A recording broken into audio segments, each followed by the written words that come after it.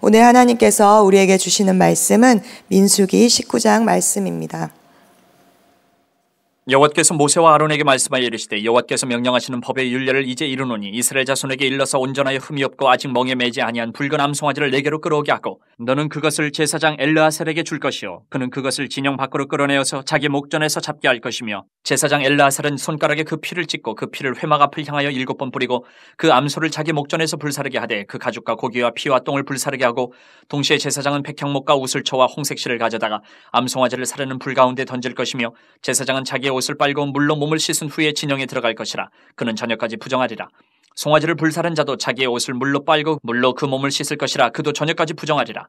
이에 정결한 자가 암송아지의 죄를 거두어 진영 밖 정한 곳에 둘지니 이것은 이스라엘 자손 회중을 위하여 간직하였다가 부정을 씻는 물을 위해 간직할지니 그것은 속죄제니라. 암송아지의 죄를 거둔 자도 자기의 옷을 빨 것이며 저녁까지 부정하리라. 이는 이스라엘 자손과 그 중에 거류하는 외인에게 영원한 율례니라 사람의 시체를 만진 자는 이래 동안 부정하리니 그는 셋째 날과 일곱째 날에 잿물로 자신을 정결하게 할 것이라. 그리하면 정하려니와 셋째 날과 일곱째 날에 자신을 정결하게 하지 아니하면 그냥 부정하니 누구든지 죽은 사람의 시체를 만지고 자신을 정결하게 하지 아니하는 자는 여호와의 성막을 더럽힙니다 그가 이스라엘에서 끊어질 것은 정결하게 하는 물을 그에게 뿌리지 아니하므로 깨끗하게 되지 못하고 그 부정함이 그대로 있음이니라. 장막에서 사람이 죽을 때의 법은 이러하니 누구든지 그 장막에 들어가는 자와 그 장막에 있는 자가 이래 동안 부정할 것이며 뚜껑을 열어놓고 덮지 아니한 그릇은 모두 부정하니라. 누구든지 들에서 칼에 죽은 자나 시체나 사람의 뼈나 무덤을 만졌으면 이래 동안 부정하리니 그 부정한 자를 위하여 죄를 깨끗하게 하려고 불사른 죄를 가져다가 흐르는 물과 함께 그릇에 담고 정결한 자가 옷을 초를 가져다가 그 물을 찍어 장막과 그 모든 기구와 거기 있는 사람들에게 뿌리고 또 뼈나 죽임을 당한 자나 시체나 무덤을 만진 자에게 뿌리되 그 정결한 자가 셋째 날과 일곱째 날에 그 부정한 자에게 뿌려서 일곱째 날에 그를 정결하게 할 것이며 그는 자기 옷을 빨고 물로 몸을 씻을 것이라 저녁이면 정결하리라 사람이 부정하고도 자신을 정결하게 하지 아니하면 여호와의 성소를 더럽힘이니 그러므로 회중 가운데서 끊어질 것이니라. 그는 정결하게 하는 물로 뿌림을 받지 아니하였은즉 부정하니라. 이는 그들의 영구한 율례니라. 정결하게 하는 물을 뿌린 자는 자기의 옷을 빨 것이며 정결하게 하는 물을 만지는 자는 저녁까지 부정할 것이며 부정한 자가 만진 것은 무엇이든지 부정할 것이며 그것을 만지는 자도 저녁까지 부정하리라. 아멘. 하나님의 말씀입니다. 구약에서 온 이스라엘이 하나님의 백성이기는 하였지만 동일한 자격으로 하나님께 나아갈 수 없음을 우리가 16장, 17장 사건을 통하여서 또 18장에 주어진 규례를 통하여서 살펴보았습니다. 구약 시대에는 하나님의 성소에 이른 제사장과 레인만이 할 수 있었습니다. 그러나 이스라엘 백성들은 이것을 오인하고 계속해서 자신들도 할 수 있다라고 얘기를 하고 또한 광야에서 원망과 불평으로 많은 사람들이 죽임을 당하였습니다. 남자들만 60만 명이 넘었던 이스라엘 사람들은 40년 동안 그렇게 광야 생활을 헤매며 광야에서 죽었습니다. 단순하게 남자들의 수만 세어 보더라도 하루에 40명 이상의 사람들이 매일 죽었고 그 사람을 광야에서 장사 지내야만 했습니다. 이 당시에는 죽은 사람을 만지는 일은 부정한 일로 간과되었기 때문에 부정한 일이라고 생각되었기 때문에 어떻게 하면 이 부정한 일을 잘 처리할 수 있는지가 오늘의 말씀입니다. 1절부터 10절까지는 붉은 암송아지의 죄를 만드는 의식을 말하고 11절부터 22절까지는 시체로 인해 부정하게 된 자를 정결하게 하는 방법 의식에 대해서 말씀하고 있습니다. 먼저 우리가 살펴볼 말씀은 2절과 3절 말씀입니다. 여호와께서 명령하시는 법의 율례를 이제 이르노니 이스라엘 자손에게 일러서 온전하여 흠이 없고 아직 멍에 매지 아니한 붉은 암송아지를 내게로 끌어오게 하고 너는 그것을 제사장 엘르아살에게 줄 것이 요 그는 그것을 진영 밖으로 끌어내어서 자기 목전에서 잡게 할 것이며 하나님은 부정한 자가 깨끗하여질 수 있는 방법을 오늘 알려주십니다. 19장에 많이 등장하는 단어가 부정, 부정, 부정, 부정하게 된다라는 이야기입니다. 시체를 만진 자는 부정하다고 하였는데 이 부정을 제거하기 위하여서 온전하고 흠이 없고 아직 멍에 매지 아니한 붉은 암송아지가 필요했습니다. 멍에를 매지 않았다는 것은 한 번도 일을 해본 적이 없는 소였습니다. 또한 제사를 지낼 때 동물의 색깔은 그렇게 중요하지 않았는데 오늘은 붉은 암송아지, 피의 색깔과 비슷한 붉은 암송아지를 준비하라라고 주님께서 말씀하십니다. 하나님께서. 지금까지는 아론이 제사장으로 중심적인 역할을 했는데 오늘 19장부터는 아론의 아들 엘르아살이 이 일을 맡아서 감당합니다. 아론이 이 일을 감당하게 되다가 부정하게 되면은 제사장으로서의 역할을 할 수 없기 때문에 아들이 대신하여서 이 부정한 일을 처리하는 일을 맡았습니다.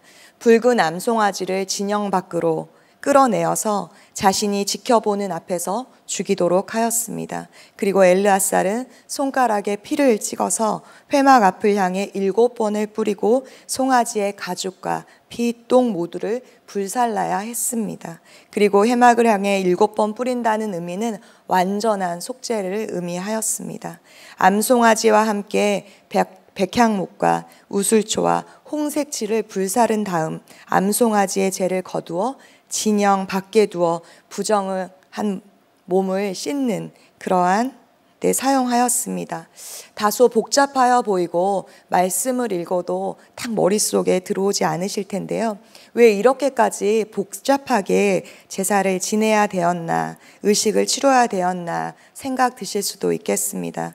그러나 하나님은 이 의식을 통하여서 이러한 방법을 통하여서 이스라엘 백성이 스스로 깨끗하여질 수 없는 존재라는 것을 깨닫고 매일 하나님 앞에 나아옴으로 이 의식을 통하여서 하나님 앞에 예배하기를 원하셨습니다. 어제 레위기의 제사법에 대해서 나누었는데요. 그 제사를 지낼 때도 꽤 복잡한 절차들이 있었습니다. 그러나 지금은 그렇습니까? 그렇지 않습니다. 왜냐하면 바로 예수님께서 우리의 속죄제가 되어 주셔서 우리의 부정을 죄를 담당하여 주셔서 흠이 없고 아직 멍에 매지 않은 온전한 붉은 암송아지가 되어 주셨기 때문입니다. 히브리서 9장 11절에서 14절 말씀입니다.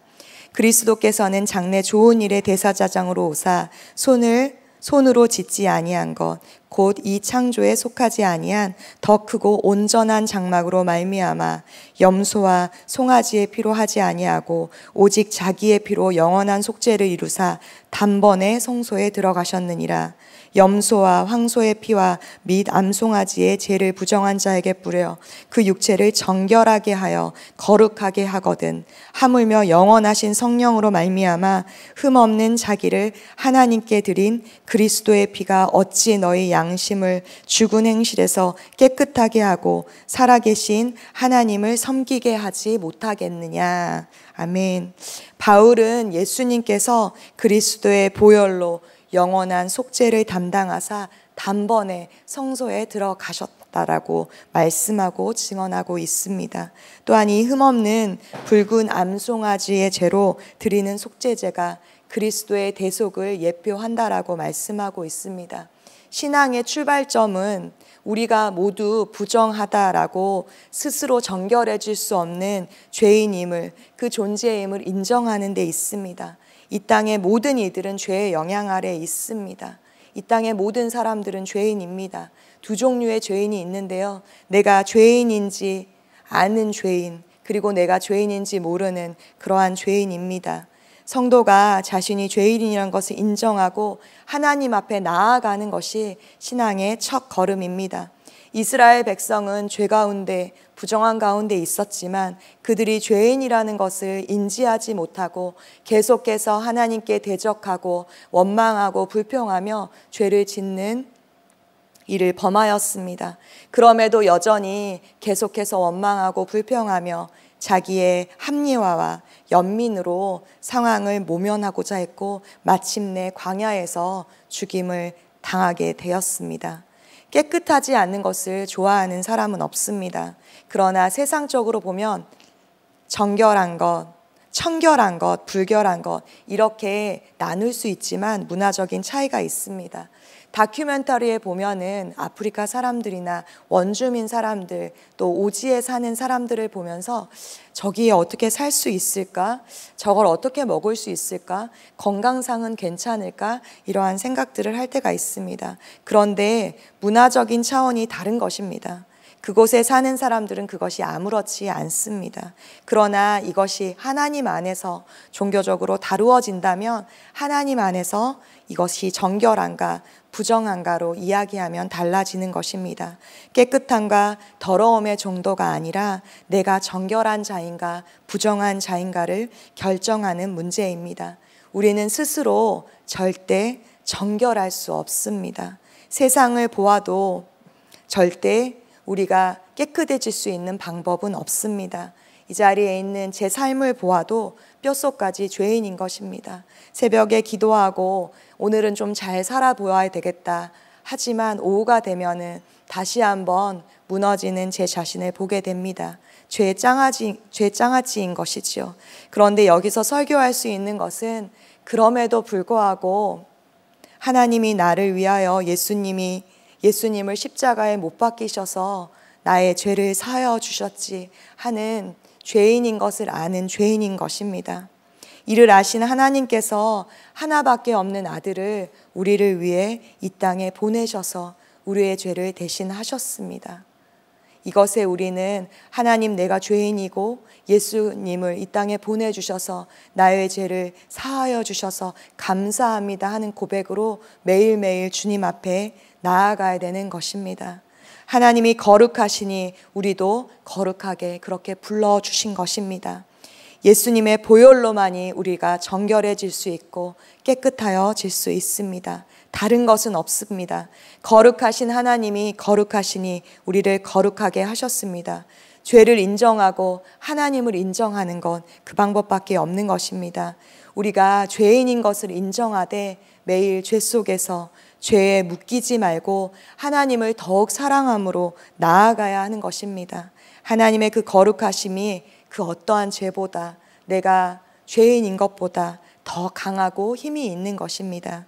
이미 죄와의 싸움에서 흠없고 완전하신 그 하나님이 예수님으로 인하여 승리하셨습니다. 청소년 사역을 하다 보면 아이들이 대부분이 우리 교회 아이들은 모태 신앙이기 때문에 제자 훈련을 하며 첫 과에 죄인을 다룰 때 죄인인 것을 믿니? 라면 고개를 끄덕끄덕하고 부정하지 않습니다. 그리고 예수님이 우리의 죄를 위하여 십자가에 못 박히신 것을 믿니? 라고 하면 또 고개를 끄덕끄덕하고 아멘합니다. 그러나 문제는 우리가 아닌 나의 죄를 위하여서 십자가에 못 박힌 것을 믿니? 라고 다시 물어보면 아이들이 선뜻 대답을 하지 못합니다. 그러면 아이들에게 왜 선뜻 대답을 하지 못하는지 기다려주고 다시 한번 묻습니다. 그러면 아이들이 쭈뼛쭈뼛 하면서 이렇게 대답을 합니다. 예수님이 모든 사람을 위하여 우리의 죄를 위하여 십자가에 못 박힌 것은 믿는데 나를 위하여 십자가에 못 박힌 것은 믿어지지 않습니다. 그래서 제가 왜 그렇게 물어보면 아직도 예수님이 십자가에 못 박혔지만 나는 계속해서 죄에 대해서 이길 수 없고 계속해서 동일한 죄를 짓고 또 넘어지는 자신을 보면서 예수님이 정말 나를 위해서 십자가에 못 박혔나? 실제적으로 생각해 보면 잘 모르겠다는 거예요. 그래서 그 아이들에게 계속해서 물어봐요. 그러면 죄와 싸우고 있는데 그 죄에서 이겨지지 않는다는 거예요. 제자 훈련까지 하고 또 나눠야 되고 이렇기 때문에 자신들의 죄를 고백하고 일주일 동안 그 죄를 이겨보자라고 도전하고 아이들에게 다시 물어보면 여지없이 무너지는 자신을 보면서 예수님이 나를 위해 십자가에 못 박힌 것은 잘 믿어지지 않아요. 라고 이야기합니다. 그렇게 그런 아이들을 보면 참 안타까운 마음이 있었습니다. 그래서 아이들에게 제가 그렇게 이야기를 해줍니다. 우리는 스스로 깨끗해질 수 없는 존재이고 죄는 내가 스스로 이겨보려고 짓지 않으려고 하면 할수록 그 죄에 대해서 더욱 묵상하게 되고 절대 죄를 이길 수 없다라고 이야기해요. 그러면 아이들이 그러면 계속 죄를 지어요? 어떻게 해요? 이렇게 다시 물어봐요. 그러면 제가 그 아이에게 이렇게 이야기해 줍니다. 일주일 동안 죄를 짓지 않으려고 노력하는 대신에 하나님 더 사랑하기로 결정해봐라. 하나님을 더욱 사랑하기로 노력해봐라. 하나님께서 너를 어떻게 사랑하셨는지 말씀을, 구절을 아이들에게 보내주면서 그 말씀을 아침에 보내주신 그 말씀을 계속해서 묵상하는 것을 노력해봐라 라고 이야기해줘요. 그러면 아이들이 고개를 끄덕끄덕거리고 다시 한번 해보겠습니다 하고 삶의 그 자리로 돌아가시는 것을, 돌아가는 것을 보게 됩니다. 이렇게 사단은 계속해서 우리의 본성인 죄를 보게 하고 하나님 가까이 나아가지 못하게 합니다. 오늘도 너가 이렇게 죄를 지었는데 하나님 앞에 기도할 수 있어? 그렇게 정결하게 할, 정결하다고 할 수 있어? 이렇게 우리의 귀에 속삭이고 마음에 속삭이는 것입니다. 그러나 우리가 기억해야 되는 것은 예수님께서 우리의 죄를 십자가에서 모두 해결하여 주셨습니다. 그것을 믿는 믿음으로 오늘도 죄인이지만 내가 죽게 나아갑니다 하는 그 은혜로 나아가야 되는 것입니다. 두 번째로 살펴볼 말씀, 말씀은 21절과 22절 말씀입니다. 이는 그들의 영, 영구한 율례니라 정결하게 하는 물을 뿌리는 자는 자기의 옷을 빨 것이며 정결하게 하는 물을 만지는 자는 저녁까지 부정할 것이며 부정한 자가 만진 것은 무엇이든지 부정할 것이며 그것을 만지는 자도 저녁까지 부정하리라 사람의 시체에 죽, 죽은 자를 만진 자는 부정한 자라라고 말하고 있습니다. 누구도 자신을 스스로 깨끗하지 깨끗하게 하지 못하다고 계속 말씀하고 있습니다. 흐르는 물에 붉은 암송아지의 재를 섞어서 정결하게 만드는 물을 만들어 정결한 자가 우슬초로 찍어서 장막과 장막 안에 있는 모든 기구와 사람에게 뿌리게 하였습니다. 그리고 이 물을 셋째 날과 일곱째 날에 부정에서 벗어난 자기의 옷을 빨고 몸을 씻으며 저녁에 정하게 깨끗하게 되어, 된다. 저녁까지 부정하게 되니 그렇게 하라라고 말씀하고 있습니다.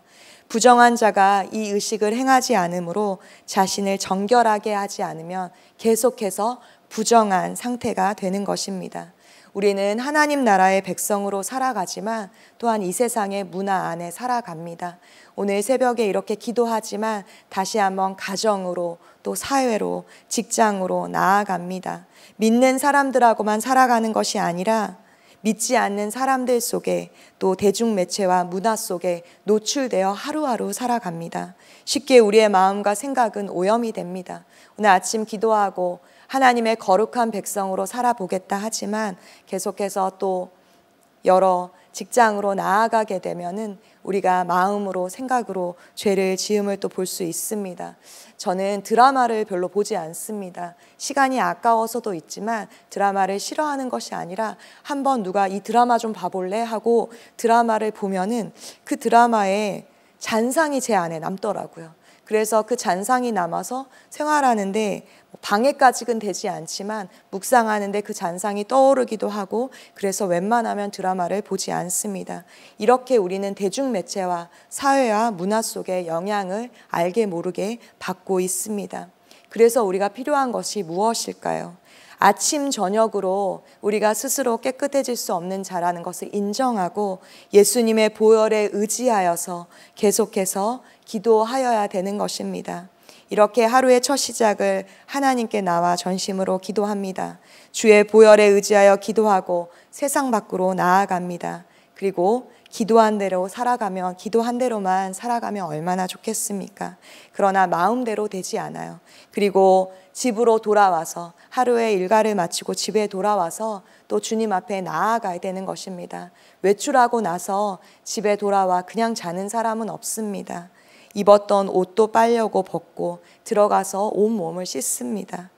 이것이 정결함을 유지할 수 있는 것입니다. 우리가 몸도 이렇게 깨끗하게 하는데 하루를 마치고 다시 한번 주님 앞에 나아와 하루를 돌아보며 하나님 앞에 나아가는 것이 필요합니다. 어제 씻었다고 오늘 씻는 것을 그냥 넘기는 사람은 없습니다. 부정한 세상에 살려면 말씀과 기도로 내 신앙을 늘 점검하며 스스로 깨끗해질 수 없는 자라는 것을 인정하며 주님 앞에 나아가는 것입니다.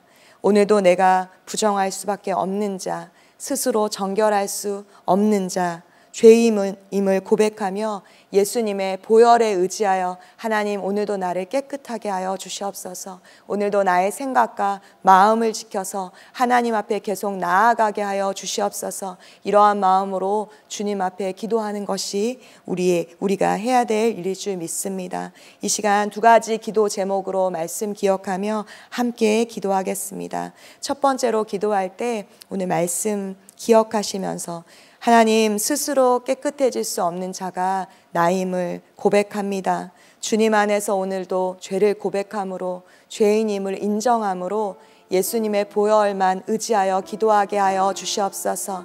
죽을 수밖에 없는 부정할 수밖에 없는 나를 살리신 예수님의 은혜가 그 보혈이 우리 안에 있게 하여 주시옵소서. 이 마음으로 주님 앞에 주님의 이름 한번 부르시고 기도합니다. 주여 사랑하는 하나님 아버지 죽을 수밖에 없는 죄인을 부정한 자를 하나님 불러주시고 하나님 주의 자녀라 말씀하여 주시니 감사합니다. 이 새벽 하나님 주의 보혈을 의지하여 기도합니다. 주의 마음을 강구하며 기도합니다. 스스로 깨끗해질 수 없는 자임을 깨닫습니다. 하나님 주님 앞에 죄를 고백하게 하여 주시고 주의 보혈로 오늘 이 아침도 다시 한번 일어나게 하여 주시옵소서. 예수님이 친히 하나님 이 땅 가운데 오셔서 하나님 완전하시고 흠이 없고 하나님 정말 우리를 대신하시는 그 어린 양, 그 암송아지가 되어 주셔서 주님 감사합니다. 감사합니다. 오늘도 하나님 이 감격을 잊지 않게 하여 주시고 주의 말씀 따라 주의 은혜 따라 하나님 우리가 다시 한번 정결의 정결함으로 주님 앞에 나아갈 수 있는 자임을 하나님 믿고 의지하며 기도하게 하여 주시옵소서. 하나님 외일의 삶 가운데 스스로 깨끗해질 수 없는 죄인임을 하나님 기억하게 하여 주시옵소서. 내가 할 수 있는 것 아무것도 없습니다. 주의 보혈을 의지하여 기도합니다. 주의 은혜를 간구하며 기도합니다. 오늘 이 아침 우리 가운데 말씀하여 주시고 주의 은혜를 더 부으셔서 하나님 값없이 주신 그 은혜를 하나님 경히 여기지 않게 하시고 하나님 온 마음으로 하나님 주께 하나님 나아가는 은혜의 역사가 이 아침 일어나게 하여 주시옵소서. 그렇게 우리 가운데 말씀하여 주시고 하나님 우리 죄를 사하여 주시는 주님 앞에 나아가게 하여 주시옵소서. 주여 아버지 두 번째로 우리가 함께 기도하기 원합니다. 우리의 삶 가운데 매일 주님 앞에 나오는 역사가 일어나게 하여 주시옵소서. 오늘도 넘어지고 무너지는 삶으로 포기해 버리는 것이 아니라 나는 안 되는 사람이구나라고 포기하는 것이 아니라 그럼에도 불구하고 이미 우리를 위해 십자가에 못 박히신 예수님을 깊게 바라보게 하여 주시옵소서. 예수님과만 동행하는 그러한 삶이 되게 하여 주시옵소서. 내가 주님을 놓더라도 주님이 절대 우리를 놓지 않고 계심을 하나님 믿는 이 아침 되게 하여 주시옵소서. 이 마음으로 주님 앞에 기도하고 더 깊은 기도 제목으로 주님 앞에 나아가겠습니다. 기도하겠습니다. 사랑하는 하나님 아버지 이 아침 우리를 또 만나 주시니 감사합니다. 삶 가운데 매일 주님 앞에 나오는 역사가 일어나게 하여 주시옵소서. 오늘도 넘어지고 무너지는 삶으로 하나님 포기하는 것이 아니라 나는 안 되는구나 하는 것이 아니라 계속해서 죄와 싸우게 하여 주시고 하나님 그보다 먼저 하나님이 나를 얼마나 사랑하시고 나와 얼마나 함께 하시고 싶어 하시는지를 깊이 아는 은혜가 있게 하여 주시옵소서. 매일매일의 녹처럼 주와 동행하게 하여 주시고 예수님을 바라봄이 얼마나 깊은 은혜이고 하나님 우리에게 값없이 주신 은혜인지 알게 하여 주시옵소서. 하나님 그럼에도 불구하고 우리가 죄인임에도 불구하고 우리를 위하여 사랑하시고 우리를 위하여 십자가에 못 박히신 예수님을 더 깊이 묵상하게 하여 주시옵소서. 예수님만 따라가게 하여 주시고 예수 그리스도 안에 생명 있음을 다시 한번 깨닫고 나아가는 시간이 되게 하여 주시옵소서. 이 아침 생명 되시는 주님만 따라가게 하여 주시고 이 아침 보혈로 하나님 깨끗게 하신 주님의 사랑만 의지하여 기도하게 하여 주시옵소서. 하나님 우리가 더욱더 열리게 하여 주시고 마음의 문을 열어 믿음의 눈으로 주님을 더욱 바라보고 주님 앞에 나아가는 하나님의 역사가 일어나게 하여 주시옵소서. 하나님 우리를 도우시옵소서. 우리의 입술이 열리고 우리의 마음이 열려 주께 나아가는 하나님 이 아침 되게 하여 주시옵소서